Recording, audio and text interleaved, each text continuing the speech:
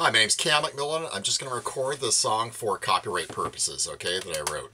I actually wrote this about a year ago or two, but um, I'm going to record it now anyway. All right, it's based on a really old tune, and it's called America USA. All right, it goes like this. Hello, Cedar Rapids, and hello, Sturgeon Bay. Baxter, in Minnesota, in America, USA. Welcome to our city, that's what the signs all say. Round Conway Springs, Kansas, middle of America, USA. Chorus.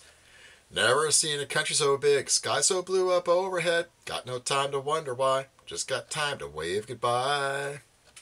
And then there's a picking solo with guitar, right? And then back to Main Street, Caledonia We'll open at 9 today. There's a barber shop, gotta make a stop to at America, USA. Sunset train is heading out Indiana way. Don't turn back, ride the iron track, cross America, USA. Chorus again. Never seen a country so big, sky so blue up overhead. Got no time to wonder why, just got time to wave goodbye. And then blend into a really long, good guitar solo, right? Picking solo or banjo solo would be cool. And then at the end, stop the guitar, just goes to vocals, and the person says slowly, Small towns are the best towns. Sure wish I could stay in Nashville, Tennessee, or wherever the song is being performed at that minute, right? To the audience. Here in America, USA. Uh, that's it.